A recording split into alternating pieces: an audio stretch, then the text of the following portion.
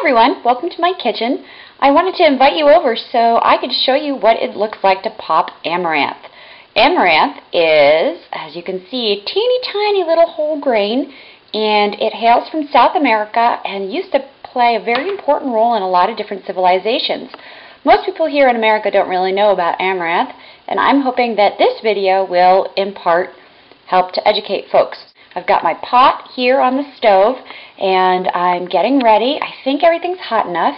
Most important thing is to test the heat first. So we take a drop of water. Oh, sounds like it.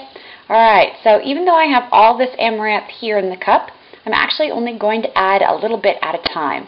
And why is that? Because otherwise it's really hard to keep it from burning. Why am I popping amaranth?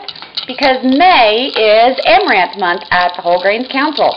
And we're really trying to show all of our different versatile whole grains in lights that maybe you haven't seen before. And I bet you haven't seen this before.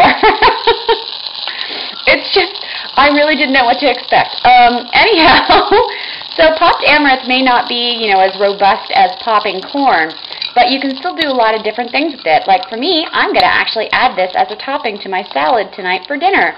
Maybe I'll bring a little bit of it into the office and share it with my colleagues because you know the best thing about whole grains is sharing them.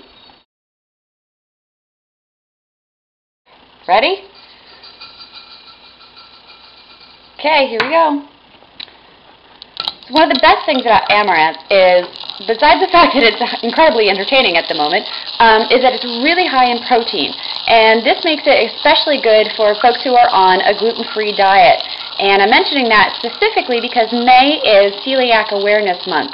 So for all you celiac patients out there, anyone who knows someone who has celiac disease, please make sure to incorporate really nutritious whole grains that are naturally gluten-free. It's going to keep you healthier, make you feel fuller, and also keep you in good health and keep you enjoying really fun food like crazy wacky popping amaranth.